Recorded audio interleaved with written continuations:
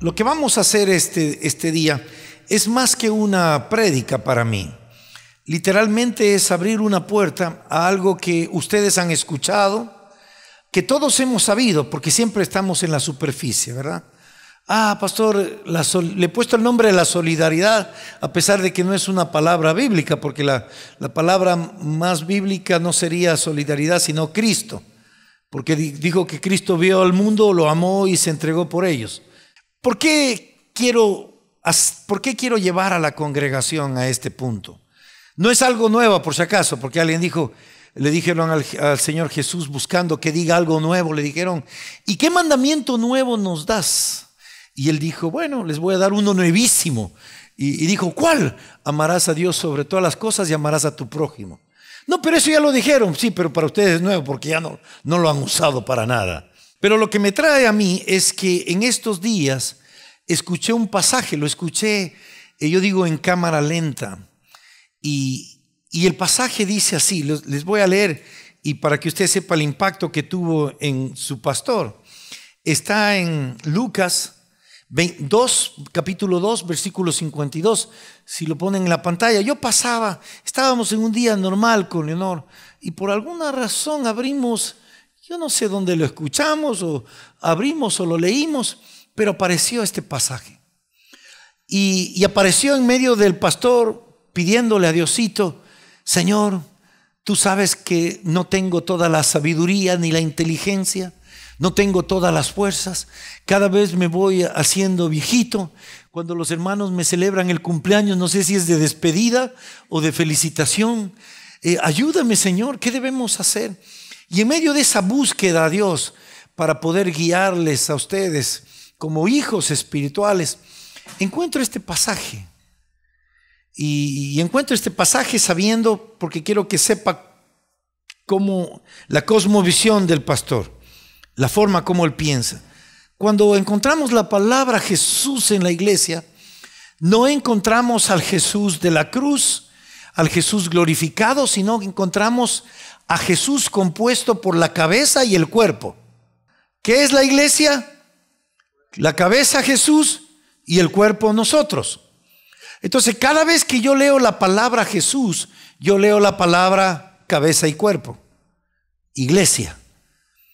Y me, lanza esto el Espíritu Santo y me dice así, y la iglesia, o Jesús, crecía en sabiduría, en estatura, en gracia para con Dios y, en gracia para los hombres. Separo las las dos oraciones finales. Entonces yo digo, Señor, eso es lo que yo quiero. Que tu iglesia crezca en qué? Por eso me estoy yendo a estudiar, por eso estoy escudriñando las escrituras, por eso tengo mi estudio personal en las escrituras, por eso leo artículos, por eso leo libros. Quiero sabiduría. Por eso tengo una comunión con el Espíritu Santo para que me dé conocimiento, revelación, por eso pido a Dios que aumente nuestra inteligencia, nuestro eh, eh, Eso hago. Pero digo, Señor, yo también quisiera ver ese crecimiento que tú dices, que dice no solo en conocimiento, en sabiduría, sino en qué. Queremos que la congregación crezca, ¿sí o no? ¿Verdad? Todos estamos para que crezca, no porque queremos que la iglesia nuestra crezca, sino porque queremos tener menos gente afuera y más gente adentro, ¿verdad? Pero lo siguiente que viene es lo que me impacta. Yo digo, Señor, la iglesia está en sabiduría. Tenemos el instituto bíblico, tenemos la guía del Espíritu Santo, tenemos noches, eh, mañanas de adoración, el culto de alabanza, adoración, donde se mueve tu espíritu, donde se mueve el poder, tu presencia. Eh, estamos creciendo en número, ahora tenemos dos cultos, parece que todo está bien. Y luego Dios me dice, es que Jesús con su cuerpo necesita que ser en qué?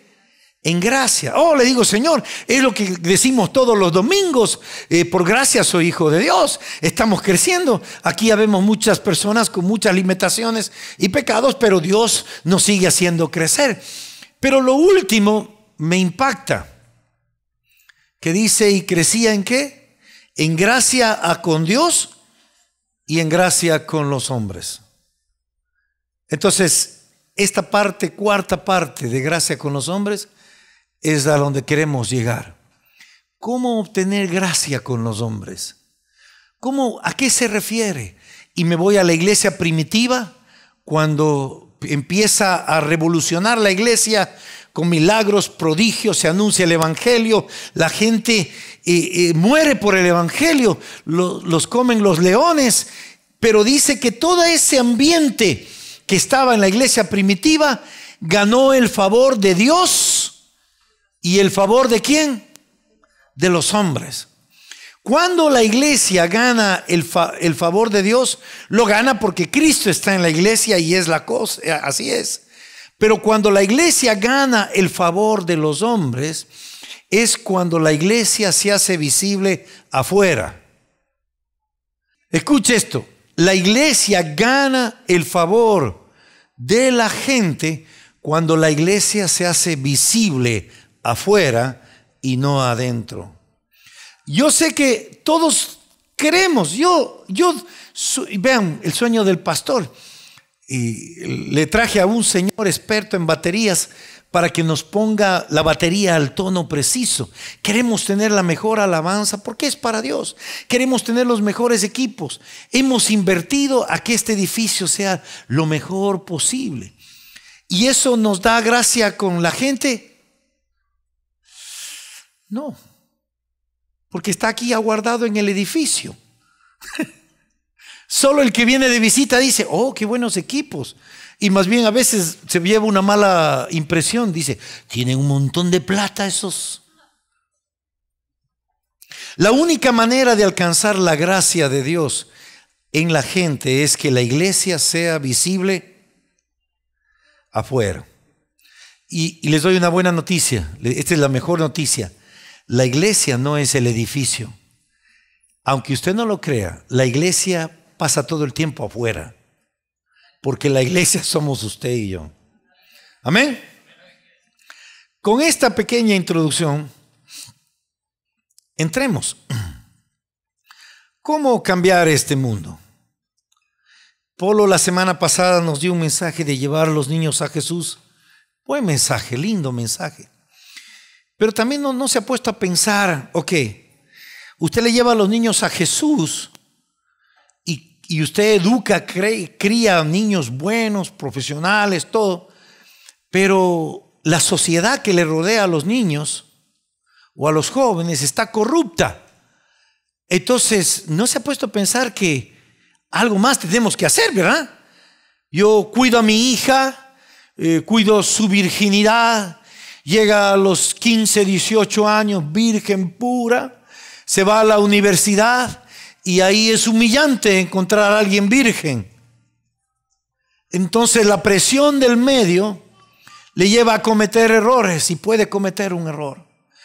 Crío a mis hijos, no toman drogas, no fuman, no toman, porque en la casa hemos mantenido esa cuestión, pero pasados los 18 salen al mundo y lo primero que aprenden es eh, lo que la gente les da, es el licor. Entonces yo digo, men, la iglesia tiene que ser inteligente, no solo trabajar hacia adentro, sino también trabajar hacia afuera, porque qué lindo mandar a, a mi hija o a mis hijas, a mi nieta, y que puedan llegar vírgenes al matrimonio, aunque estén en medio de una sociedad, porque la sociedad ha sido influenciada por la iglesia.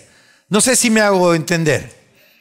Si ustedes se comportan bien aquí el domingo, es fantástico, pero eso no va a mover nada afuera. La idea es que ustedes se comporte de la misma manera que se comporta aquí, se comporte afuera. Yo, yo me asusté, este día me tocó a las 11 de la noche ir a recibir a mi Daniela de Quito, de Ecuador, y me senté al lado de una señora, yo no sé la nacionalidad de ella, pero tenía un acento así medio del Caribe, de Centroamérica, y su hijo al lado. Y ellos estaban hablando, según la conversación, porque yo estaba en la silla de al lado, estaban hablando de la esposa del hermano. Y es, oiga, qué mala palabra de este hijo. Yo decía, este le voy a dar en la boca.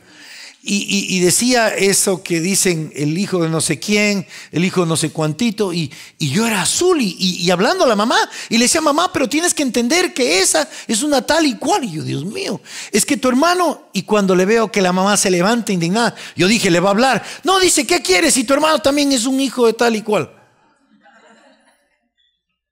Oh my God. Y, le, viene Daniela y me cuenta, dice, papá, Dice, ¿cómo le digo? ¿Cómo te va en Ecuador? Todo es lindo, dice. Chévere, la comida, todo. Y tus primos, todos son lindos. Pero, papito, dice, qué boca de algunos. Me sentamos en la mesa con los jóvenes y todo es malas palabras. Wow, entonces yo digo, qué importante no solo tener buenos cultos, sino afectar a la gente de afuera. La gracia de los hombres se consigue cuando la iglesia es visual. Cuando está guardada en cuatro paredes, no pasa nada. Estamos ahí. Y le dice al Señor, dame un ejemplo bíblico y me regaló este ejemplo de Lucas capítulo 10. Y ahí nos vamos a quedar. Pero antes les pongo el concepto de solidaridad. ¿Cómo el mundo le ve? Esto no es un concepto cristiano. Dice así, Solidaridad es uno de los valores humanos más importantes y esenciales de todos. La solidaridad es lo que hace una persona cuando otro necesita de su ayuda. La solidaridad es la colaboración que alguien puede brindar para que se pueda terminar una tarea en especial. Es ese sentimiento que se siente y da ganas de ayudar a los demás sin intención de recibir algo a cambio. Solidaridad es una condición del ser humano que complementan las actitudes sociales de un individuo. La solidaridad conduce al desarrollo sustentable de los pueblos. Por eso es fundamental que sea empleada en pro de los beneficios que puede precer a una determinada causa. Eso es lo que dice el mundo. En criollo, a la manera de Cristo, Dice, no hay mejor cosa que dar la vida por sus amigos. Si no entendió todo lo que leí, entienda esto. No hay mejor cosa que dar la vida por los amigos, por la gente que uno ama. Y ahí va. Lucas 10, 25 al 37 y nos vamos a pasear en este versículo. Un intérprete de la ley se levantó y dijo, para probarlo. Maestro, ¿haciendo qué cosa heredaré la vida eterna? Él estaba preocupado de ganar la vida eterna. 26, Jesús le dijo, ¿qué está escrito en la ley? ¿Cómo tú lees? Y él contestó, esta persona, dice así, amarás al Señor tu Dios con todo tu corazón, con toda tu alma, con todas tus fuerzas, con toda tu mente, y a tu prójimo como a ti mismo. Wow, el tipo sabía la ley, era religioso, quería la vida eterna, creo que parecía uno de nosotros. Y Jesús le dice, mire por dónde se va el Señor. Cada vez que el Señor encuentra a alguien religioso que está queriendo salvarse, que el mundo se vaya al diablo, que Él quiere ir al, nuevo cielo, eh, Jesús le enfoca diferente la pregunta y le dice, bien has respondido, haz eso y vivirás. Dice, pero el tipo este, queriendo justificarse a sí mismo, le dijo, mire que la misma conciencia le acusaba, ¿quién es mi prójimo? Y respondió Jesús de esta manera, ¿quién es mi prójimo? Diga conmigo, próximo. La palabra prójimo viene del latín próximo, pero en hebreo es el que está a tu lado. ¿Aló? No es el pariente que está lejos, es el que está a tu lado. No es la tía que dejaste en Guatemala o en Ecuador. Es la señora vecina de tu casa. Prójimo. Es el pecador infeliz que tienes al lado de la puerta. Es ese que anda haciendo drogas en la calle y que se ha vuelto un fastidio para ti. Es ese señor que vive desasiado, que hace que se vea el barrio horrible. Ese es el prójimo, el próximo, el que está al lado. Nosotros decimos el vecino. ¿Quieren que les presente a uno de sus próximos? Por favor, regrese a ver al de al lado. Él es el que está próximo. Todo el mundo sueña con ayudar a alguien que está lejos. Todo el mundo sueña con ayudar a mis parientes. Es que la sangre llama, pastor. Yo le veo gente levantando esfuerzos y, moviéndose cuando hay una familia mía que está en peligro. Jamás es inusual ver a alguien que diga, ahora tengo que trabajar. ¿Y qué pasó? No, pues que mira lo que está pasando en Puerto Rico. ¿Y tú eres de Puerto Rico? No, yo ni conozco Puerto Rico. ¿Pero por qué haces eso? Porque es un país que está cerca de nosotros y está teniendo una normalidad. Ah. Prójimo. ¿Quién es? ¿Por qué, por qué sufrimos más? ¿Dónde está su bilis? ¿Se ha puesto a pensar por qué tiene tanta bilis? ¿Por qué tanta preocupación? Por los parientes. Es increíble. Sí, sí o no, compañeros. Pastor, mi mamita me llamó que tiene diabetes, mi hermano que se quedó sin trabajo, mi tío y, preocupación, y que yo le voy a ayudar a venir y que, y que le voy a ayudar, que por acá tiene que pasar. Oh my God. Digo, ¿quién? Y siempre encontramos mis parientes. Yo le veo gente que cuando viene un hermano a visitarles, están así poco, ya cuando se va este men. Pero cuando viene la hermana, ay, venga, pase. Jesús le dice a este tipo, le dice, haz lo mismo con tu prójimo. No sé si están conmigo. ¿Eh? Entonces, ¿cuál es el problema de la iglesia? Que vivimos un egoísmo y lo hemos hecho un egoísmo santo cuando yo, yo, mi, mi. Hay un rato que me dicen mis familiares, yo no, yo no les veo mucho a mis familiares porque están lejos, ¿verdad? Pero me invitaron a una boda que me tocó hacerlo este fin de semana anterior. Y, fui y, mi esposa me dice, Fernando dice, tremendo hombre. Le digo, ¿qué? No te pareces en nada a tus hermanos. Le digo, es que ¿quién son mis hermanos? Ahora como tortilla y a usted qué le importa.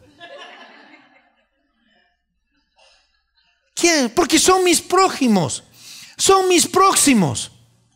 Me tiene que importar alguien más que no sea yo. Yo. Todas las personas que se deprimen, ¿saben por qué es? Porque piensan mucho en ellas, en sus hijos, en sus tíos, en sus mamás, y, sufren. Y sufren. Y, bueno, fuera que diera alguna solución, pero se dan cuenta que después no lo pueden solucionar, por eso siguen sufriendo. Pero cuando uno mira a los de al lado y ve un problema mayor que el de uno, Ven, se le pasa todos los dolores. El otro día me dolía la pierna. Ay, esta pierna. Se me había levantado una vena ahí, híjole, estaba yo que ya no caminaba. Hasta que un día llegó un hermano con una silla de ruedas y tuve que meterle. Se me pasó, se me pasó el dolor en la pierna. Porque él no tiene piernas. ¿Están conmigo? Por favor no se duerma porque esto vamos a entrar a ese ambiente. Vamos, ¿por qué son las peleas, las peleas en casa? Vamos, honestamente así, la mano en el, en el corazón. ¿Por qué son? Es que mi marido no quiere a mi familia, pastor. ¿Y, ¿Y por qué no querrá? ¿Y por qué no querrá? Mi amor, toma dos chocolatitos. Y esos chocolates de ahí, esos son para mi mamá. Oh my gosh.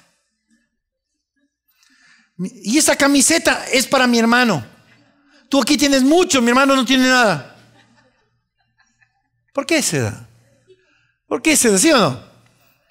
Viene el marido y dice, ay mujer, que cocinaras como mi mamita.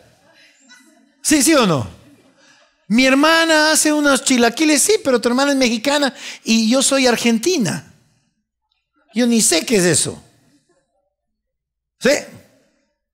Porque todo el mundo piensa que me debo preocupar de mí, de mis hijos, de mis primos, de mis tíos, y no salgo de eso.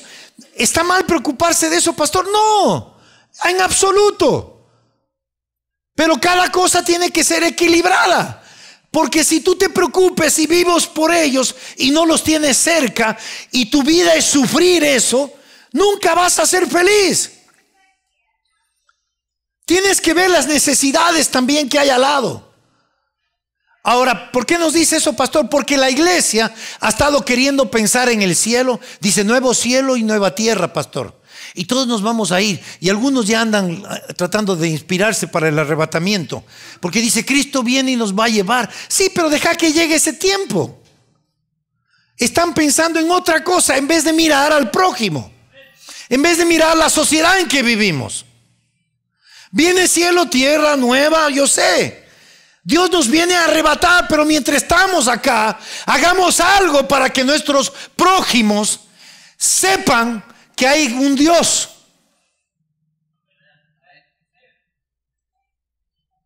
No todo mi, mi, mi. Algo tenemos que dar. Algo tenemos que dar. Y Jesús le responde cuando este tipo le pregunta, ¿y quién es mi prójimo?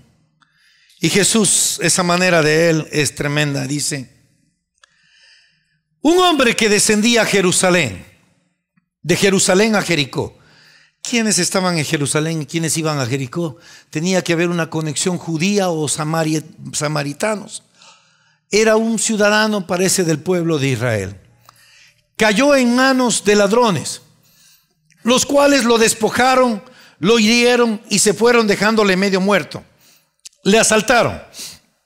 Aconteció que descendió un pastor, un sacerdote, por aquel camino.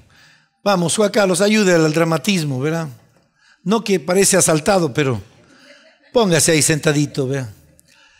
Viene él, dice así textualmente, aconteció que descendía por el, aquel camino, por el mismo camino, un poquito más tarde, y al verlo, pasó de largo y se fue. Pastor, paz golpeado, hinchado, ojeroso, cansado y sin ilusiones, ¿verdad? Le asaltaron. Y el pastor pasó de largo. Luego viene José Luis Flores, el director de alabanza, adoración. Aleluya. Aleluya. Y lo vio, dice. Aconteció que dice así mismo un levita, llegando cerca de aquel lugar, al verlo, ¿Qué dice? Aleluya, gloria a Dios, remolineando, remolineando.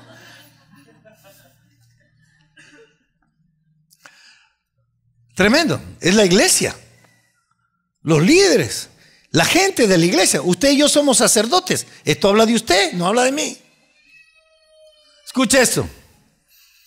Pero asomó uno que le decían de apodo los perros que eran samaritanos. Era gente odiada por los judíos porque se habían mezclado con otra raza.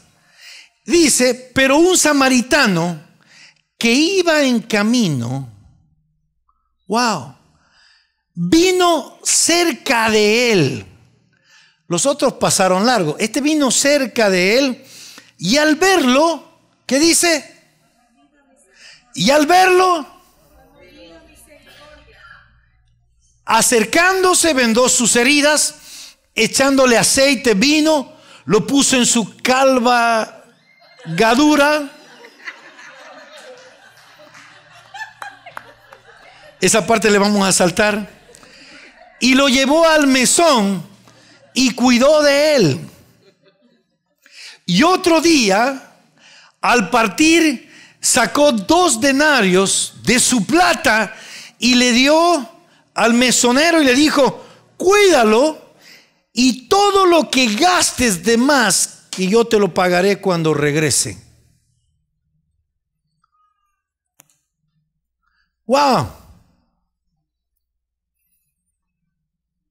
Ya está. Iglesia, cuando ves un problema, ahora el, el, pastor le gusta ver las palabras y ahí les va. Eh, la palabra pasar de largo, eso es una, aquí en español le ponen pasar de largo, pero en el original griego es una palabra que suena como antiparejomai, que quiere decir el otro lado. O sea que cuando los sacerdotes, el levita, la iglesia pasaba cerca de este hombre, ya discernieron algo que había problemas y se mandaron al otro lado de la avenida para no siquiera verlo, porque sabían que había un problema que atender. Wow. Ahí tienen, ¿por qué estamos con las sociedades así como están? No le eche la culpa al diablo ni al mundo, échese la culpa a usted. Porque usted todavía sigue en mañas y pecados y hábitos que son horribles, que le condenan cada día para venir a la iglesia, para lavarse, porque no quiere estar condenado, porque quiere ser un buen hombre, y está en esa bobada egoísta y cayó en una trompa, en una trampa que no va a salir. ¿Sí me comprenden? En vez de preocuparse de la gente de afuera. Pero pastor, ¿cómo, cómo me preocupo de la gente de afuera? Bueno, Empecemos por lo básico, por tu vecino, por la persona que está al lado. ¿Cuál es la clave de este pasaje? La clave de este pasaje son tres palabritas. Una, el samaritano, viendo el problema, ¿sabe qué dijo él? Algo hay, sea por curioso o lo que sea, se acercó. Segunda palabrita, al verlo, la palabra ver en griegos lo traducen al español con un montón de sinónimos. Conocer, percibir, darse cuenta, mirar, interiorizar, reflexionar. Eso es ver. Él se acercó y miró el problema. Y luego actuó frente al problema. Tres palabritas que la iglesia tiene que manejar. Usted tiene que acercarse a la gente que está afuera. Usted tiene que vivir con ellos. Pero tiene que mirar qué está pasando. Cuando usted vea, Dios le va a dar la clave para atender esa necesidad. Pero ¿qué no hizo el samaritano? ¿Qué hacen? Recién tuve un debate de las organizaciones de, que dicen non-profit organization o la iglesia como organización. Alguien dice, hey, encontré una persona que tiene hambre, pastor, le traigo para que usted le ayude, le ayude. ¿Quién se dio cuenta de eso? Yo, tú dale de comer. Pero es que la iglesia debería ayudar aquí. ¿Quién eres tú? La iglesia. Dale de comer. Es que yo no tengo. Vieras que un niño le, dijo a Jesús, aquí hay dos pancitos y dieron de comer a cinco mil.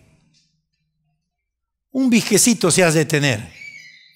¿Quién nos metió en la cabeza que tenemos que ir a la iglesia para solucionar cosas que nosotros podemos solucionar? ¿Quién nos metió en la cabeza que tenemos que tener instituciones para que ayuden a los drogadictos, a los alcohólicos, a los deprimidos, cuando hay gente que lo puede hacer y esos son ustedes y yo? La gente no tiene que meterse en una institución para ser sanada. Tiene que encontrar a Dios y para encontrar a Dios solo necesitan un perro que se acerque a alguien que está lastimado y lo levante y sienta y diga, yo estaba así antes, pero ahora he cambiado. Ese perro samaritano nos da más ejemplo a todos los cristianos de lo que hay que hacer. Que necesita ropa el hermano, que le llevemos, dale tu ropa. Compártele. Yo les, ¿qué les digo? Yo lloro por esto. ¿Hasta cuándo vamos a pensar en nosotros mismos? ¿Hasta cuándo lo importante es que yo tenga mi casa, mi trabajo, mi esposa, mis hijos? ¿Hasta cuándo no entiendo que yo vine a ser la sal y la luz de la tierra? Hemos tenido un montón de episodios alrededor. Esa gente necesita solidaridad. La gente que está al lado tuyo necesita solidaridad. ¿Sabe lo que me dijeron en la universidad? Me enseñaron en la maestría. Que dice, vamos, me dijo un profesor, me dijo, es que nosotros hacemos misiones a otros países. Entonces yo le pregunté, pero ¿qué tipo de misiones? Me dice, no, pues vamos, les llevamos a los gringuitos a que pasen un fin de semana o a los que quieran ir un fin de semana, vamos, eh, pintamos una clase y regresamos. Le digo, no, pues eso no se llama misión, eso se llama turismo. Y me dice, Fernando, eso es misión. No, señor, eso se llama turismo. Misión es tener el pasaje de ida y no tener el de vuelta. Por lo menos Cristo nos enseñó así. Misión es hacer, dar la vida por las personas a cualquier costo. Usted y yo necesitamos vivir más mirando, acercándonos y atendiendo la necesidad de la gente. Es fácil ignorarles. Pero eso sí, queremos invitarles, pero ¿quién va a venir si no hay cariño? ¿Quién va a venir si no le importa a alguien? Pero si yo sé que hay alguien que yo le importo, yo voy a estar allá. Tres palabritas que esta iglesia tenemos que incursionar. Vámonos a las comunidades. Vamos a ver cuál es la necesidad. No para venir con el chisme a una institución que nos ayude esa forma depravada que tienen las personas que piden caridad es una enfermedad mental. Demen, demen, demen. Están regalando eh, gorras. ¿Dónde, dónde, dónde? Pero con la melena que tienes, tú necesitas gorras, sí, pero ¿dónde regalan? Porque yo quiero. Están regalando eh, chaquetas, chamarras. ¿Dónde? Pero si estamos en verano, brother, no te la vas a poner. Pero es regalo gratis. Es gratis. Están regalando juegos de casa, juegos de, sala. Vamos, pero tú tienes el juego de sala. No, pero si es más bonito, le botamos el otro y le ponemos este nuevo. Esa forma es una forma mental enferma, porque quiere decir que usted vive de la caridad. Cuando Dios le mandó a ser usted el que soluciona los problemas. Qué lindo sea que usted diga, ¿dónde están regalando esos muebles? Porque yo conozco una familia que no tiene. Y Dios le va a dar sorpresas. Un día le, va, le, va, a probar. Un día con mi mujer viene un norteamericano y me dice, Fernando, tiene bastante plata, voy a cambiar los muebles. Y nosotros teníamos unos muebles de telita. Y, yo le digo, claro, pero no hay problema. Yo busco una persona que se haga cargo de esos muebles. Eran unos muebles de un cuero negro, preciosos los muebles. Preciosos los muebles. Y, cuando vamos a cargarlos, le digo a mi hermano, Alberto, le digo, ve Alberto, use esos muebles. Y me dijo, ya, pastor. Cuando los vamos a ver, me quedé así, pensando dos veces. Recién llegado de Ecuador, ¿verdad? ¿Cuál sería lo correcto hacer? No, pues, esos muebles negros vengan a la casa y dale los muebles cafés de a él. No tenía muebles, las cafés, ¿qué más quiere? Pero la idea es esta. Pero yo ya tengo los míos.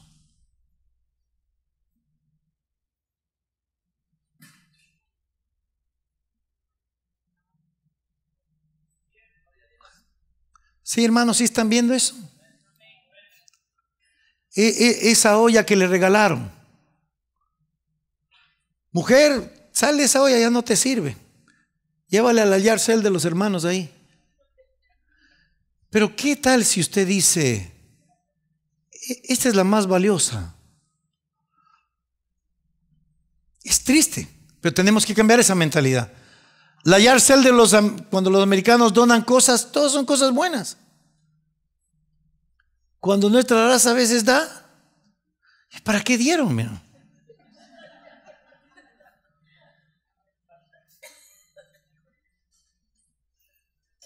Ahora escuchen esto.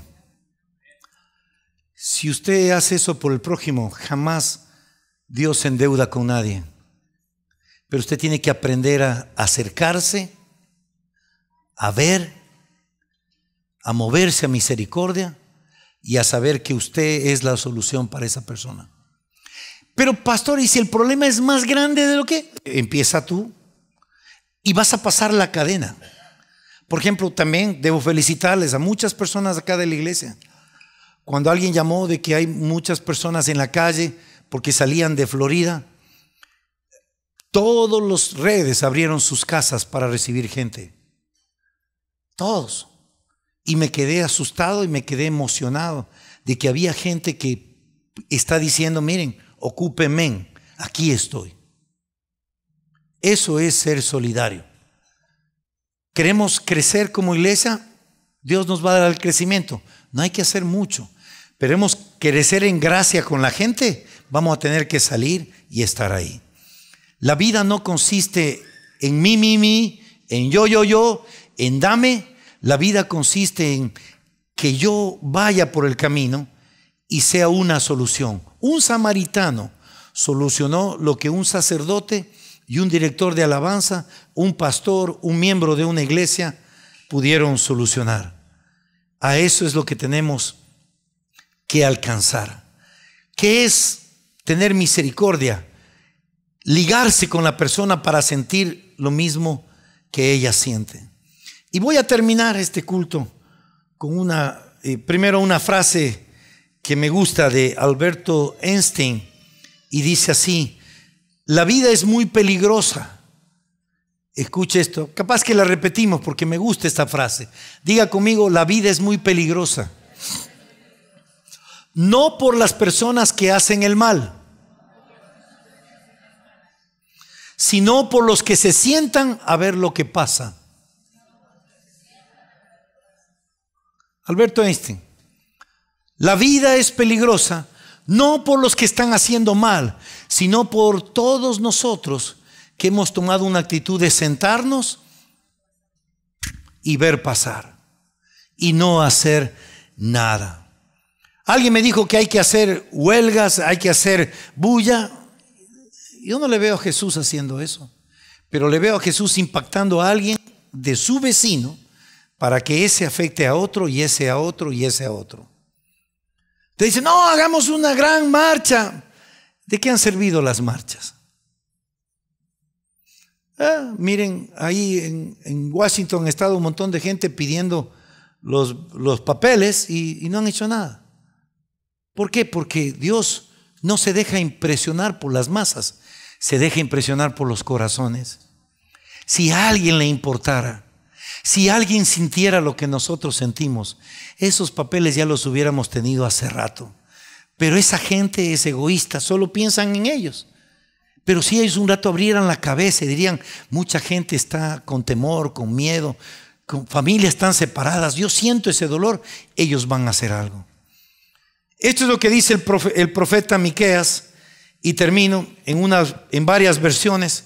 Lo voy a leer, pero usted lo puede leer en casa. Miqueas 6 del 6 al 8. Y está hablando de esta actitud y con esto cerramos el culto. Le voy a pedir a José Luis Flores que venga y no pase de largo esta vez, sino que se ponga en el piano. Miqueas capítulo 6, versículo 6 al 8. Y empieza diciendo el profeta, ¿con qué me presentaré ante Jehová y adoraré al Dios altísimo? ¿Con qué? Este parece un buen cristiano. Me presentaré con él, piensa él, con becerros, holocaustos de un año.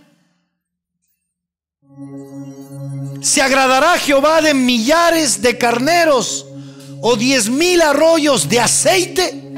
¿Con qué me presentaré ante el Señor? Con alabanza, adoración, sacrificios, ofrendas.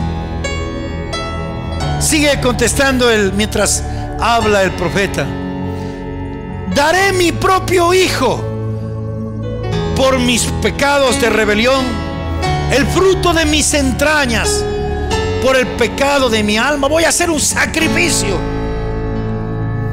y por ahí alguien le contesta al profeta y le dice, hombre, Él ya te ha declarado lo que es bueno. Hermanos, no tenemos que preguntar qué más hacemos con Dios. Él ya nos ha dicho lo que es bueno. Y no solo lo que es bueno, sino lo que pide Jehová de ti. Esto es lo que pide Jehová de ti y de mí. Esto pide el Altísimo de ti y de mí. Número uno, Hacer justicia. No estar contento con la injusticia. Hacer justicia. No tratar a una persona que no es tu pariente acá y a tus parientes acá. Trátalos al mismo nivel. Sufre con ellos. Haz justicia. Si la vecina tuvo un aborto, anda llora con ella como hubieras llorado con tu hija. Si el vecino está en drogas, gime por él como hubieras hecho por tu hijo que está en drogas. Ya deja de vivir. Haz justicia. Sal a la calle y haz justicia. Pero no solo justicia, sino misericordia. Piensa en la gente que necesita tanto. ¿Por qué? ¿Sabes por qué no hay avivamiento en tu vida? Porque todo está en un avivamiento. ¿Para qué? Para que nos sintamos felices en, unas cuatro paredes. ¿Qué borbería es esa? ¿Quieres avivamiento? Entrega lo que Cristo entregó a la gente. Misericordia. Vive por la gente. Muere por la gente. Anda a hablar a la gente. Que te agarre esta emergencia de decirles. Es lo que pide Dios. Hacer justicia, misericordia. Y escuchen el secreto de la vida para ganarse el favor de cualquier persona. Se humilde. Se humilde. No esa falsa humildad. Se humilde. Sé un corazón que cuando alguien te diga, hey hermano, le voy a enseñar algo, no es que yo ya sé. Sé humilde. Sé humilde. Que cuando alguien te falta el respeto, cállate. Sé humilde. Si tú haces esas cosas, la historia de Birmingham va a cambiar a la medida que haya una iglesia que ha sido cambiada. Hacer justicia, misericordia y ser humildes hasta el fin. Yo sé que hay muchos padres que piensan que trabajando hasta domingos van a prosperar. Mala noticia, todos los ejemplos que he visto de eso no dan resultado. Ya soy un hombre de 56 años, créame decirle, no da resultado. Pero si tú buscas justicia, misericordia y te humillas ante Dios, Él va a hacer unos cambios increíbles. Como iglesia quiero invitarles a entrar conmigo, a ser más agresivos en la comunidad, a que nos importe. Usted sabía que muchos de nuestros hijos que entran a la escuela, muchos de nuestros hijos les meten a un programa de ESL, donde no les enseñan las materias que tienen que aprender, sino los ponen a un lado. Alguien necesita levantar la mano y decir, ¿qué está pasando ahí? Pero como ya, pastor, ya no tengo mis hijos, ya mis hijos son bilingües, ya no hay problema. Pero ¿y los que quedan ahí?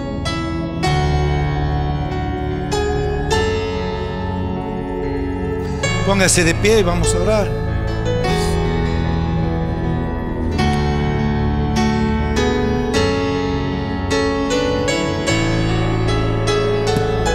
Espero que usted encuentre esta semana a alguien que le pague la cuenta en Walmart.